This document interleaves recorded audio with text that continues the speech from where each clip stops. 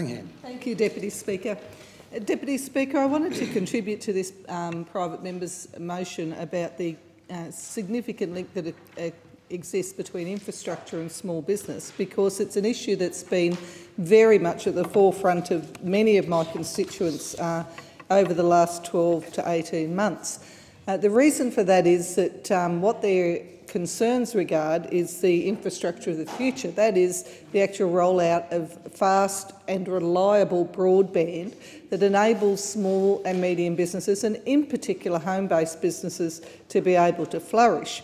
Uh, as a result of um, the change of government, of course, and the rollout of the National Broadband Network um, was delayed. There was a, a, period of about 12 months while very little happened as the new government determined what sort of technology it was going to use.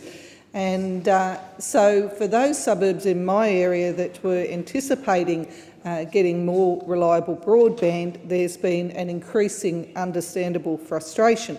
And that's led to a number of very significant grassroots campaigns.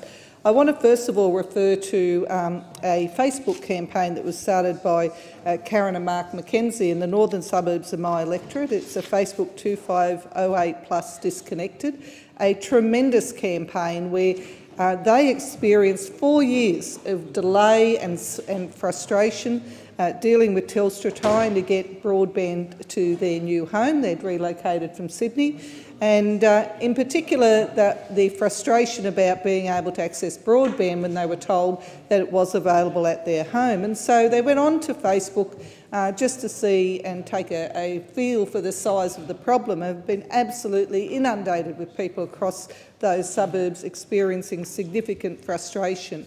Uh, key among the issues, and I'll quote directly from Mark's uh, comments to me, key among the issues being experienced by this community are poor levels of internet service and internet reliability that are currently constraining the productivity of the many home-based businesses operating in the area.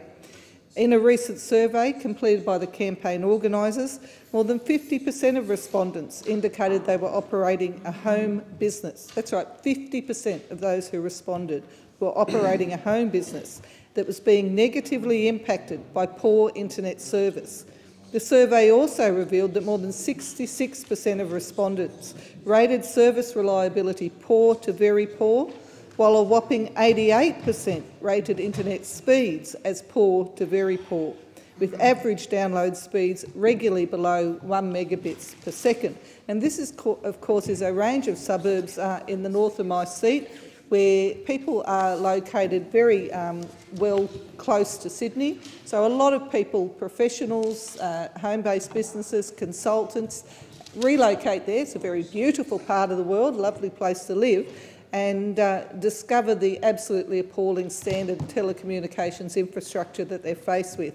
This um, campaign is not alone. For quite a while now, I've been working with the Bundeena and Maianbar Business Chamber, and uh, their uh, frustrations with both also mobile and broadband services. And Scott Dovey, who's the president, has um, put an extensive and very detailed report together on the impacts in their suburbs of uh, the very poor quality telecommunications infrastructure.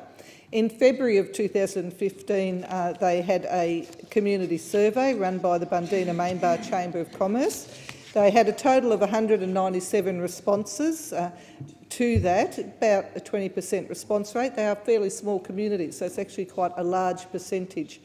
And they found that service interruptions for landline phones and internet were widespread, frequent and prolonged.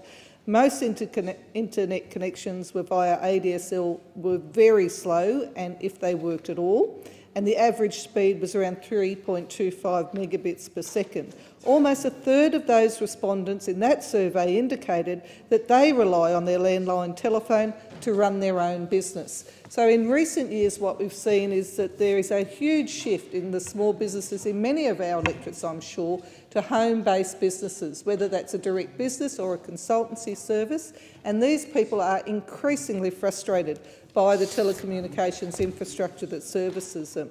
We have got at Coalcliff a new mobile um, base station being established and I've written to the Minister seeking more detail on what that will actually provide in its timeframe.